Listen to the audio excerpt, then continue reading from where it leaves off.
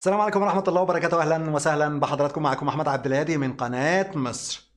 لما قيادات دول الناتو اتجعصوا واتشالوا واتهبدوا وعقدوا اجتماع ليهم في قلب بروكسل آه، في سبيل إن هم يقروا الكثير من الدعم لأوكرانيا وقالوا بالحرف الواحد إحنا هندعم أوكرانيا بأسلحة متطورة وبعيدة المدى. لحظتها الكثير من التحليلات الإخبارية قالت بالحرف الواحد كده المسألة اتحسمت لصالح أوكرانيا وإن روسيا فعلا ثبت بالدليل القاطع إن هي انجرت للمستنقع الأوكراني وبالتالي هيتم توجيه ضربات غير عادية لروسيا بعدها هتنسحق تماما. ورغم ذلك على عكس كل هذا الكلام بلا استثناء قلت لحضراتكم لحظتها أوعوا تتخيلوا إن حرب روسيا وأوكرانيا مستمرة بالمعنى المباشر. اوعوا تتخيلوا إن أي نوع من الأسلحة سيقدم سيقدم في مرحلة تالية لأوكرانيا؟ هيكون له تأثيره على أرض الواقع لأن روسيا انتصرت وركبت رجليها وركبت ودلدلت رجليها وخلاص. ما عادش حد هيقدر يزحها عن الأراضي اللي سيطرت عليها. قلت الكلام ده لحظتها وقلت كمان لحضراتكم بالحرف الواحد محاولة الإعلان. عن دعم أوكرانيا بالمزيد من الأسلحة تحصيل حاصل عبارة عن فرقعة بيحاولوا يحفظوا ماء الوجه بتاعهم قدام الشعوب بتاعتهم وقدام الرأي العام الدولي لأن ما عادش فيه أسلحة في قلب المخازن بتاعه دول الناتو. بعض الناس ما كانتش مصدقة بعض الناس كانت بتهاجمنا. المفترض جدلا إن المستشار الألماني آه، أولاف شولتس هيزور البيت الأبيض بعد أيام قليلة. المفترض جدلا أنه تم الاتفاق على إن ألمانيا والولايات المتحدة الأمريكية هيدعموا أوكرانيا بدبابات متطورة. ليوبارد وأبرامز. من أمريكا ومن ألمانيا. طبعا بعد ما تم الاتفاق على ذلك فوجئنا بعدها بأيام قليلة ألمانيا قالت أسفة جدا مش هقوم بدعم أوكرانيا بالدبابات بتاعتي إلا إذا أمريكا دعمت أوكرانيا بدباباتها ومفيش دبابات أحسن من دبابات. طبعا التصريحات فضحت الكل لأن كان الدعم الجديد معتمد على هذا النوع من الدبابات دبابات إبرامز من أمريكا ودبابات ليوبارد 2 من ألمانيا. فوجئنا بأن ألمانيا تراجعت عن ذلك في أعقابها يعني من حوالي شهر ونص بالظبط. ثم فوجئنا بأن المسألة اتلمت اعلاميا وكفوا على الخبر مجور وبدأوا يكتموا على التصريحات بتاعتهم. طب إيه اللي حصل؟ سمعنا إن في بعض الدبابات وصلت أوكرانيا. الكلام ده مش مظبوط. لا ألمانيا بعتت ولا أمريكا بعتت. ده كله فرقعة في الهوا. عارفين بأمارة إيه؟ بأمارة التصريحات اللي انطلقت منذ ساعات قليلة على لسان جيك سيليفون مستشار الأمن القومي الأمريكي اللي فضح الدنيا فبدأت ألمانيا تدك بتصريحاتها وطبعا دوروا الدك في بعضيهم واشتعلت الحرب ما بين الطرفين ما بين ألمانيا وما بين أمريكا.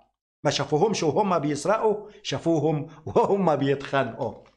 مستشار الأمن القومي جيك سوليفان قال إن جو بايدن قرر عدم إرسال دبابات أبرامز لأوكرانيا لأن قادة الجيش الأمريكي أخبروه إن هي مش هتكون مفيدة في ساحة المعركة واقترح المساعدين بتوعه إن دبابات ليوبارد 2 الألمانية هتكون أفضل في ساحة المعركة.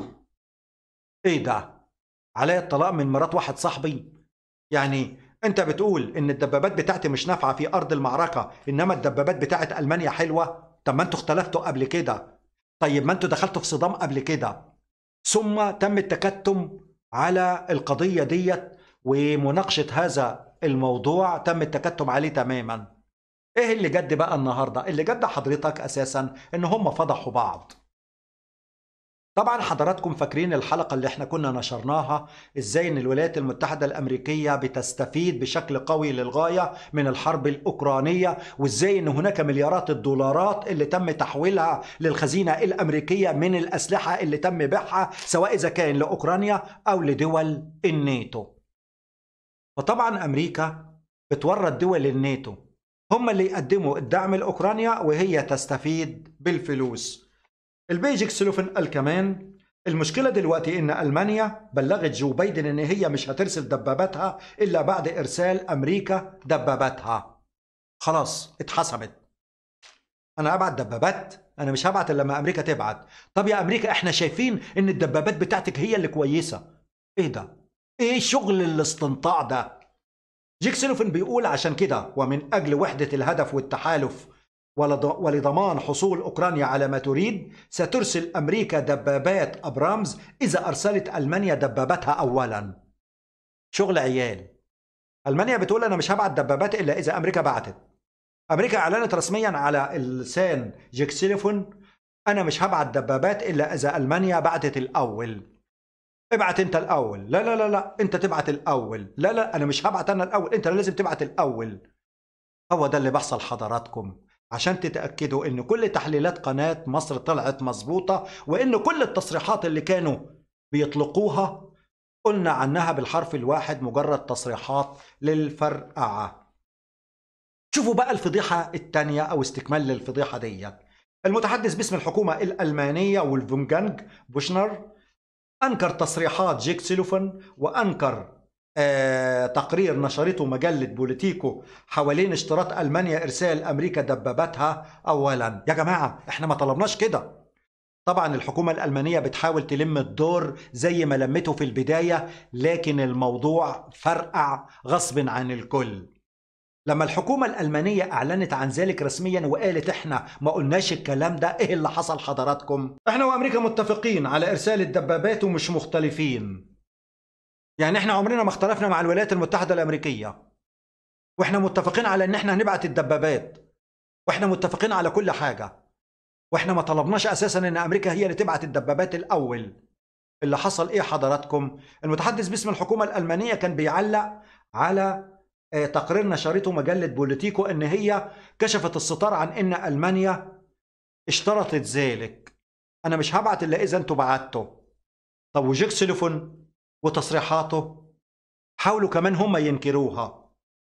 الصحيفة الأمريكية أكدت أن لديها شهود ووثائق إن ألمانيا اشترطت إرسال أمريكا للدبابات أولا وإن تصريحات جيك سوليفان مظبوطة يعني الحرب اللي شغالة ما بين الطرفين حرب أسفل الترابيزة لكن هم مش عاوزين يعترفوا بيها لأن الفضيحة بتاعتهم بقت بجلاجل وده كله يكشف لحضراتكم إيه اللي بيحصل في الخفاء.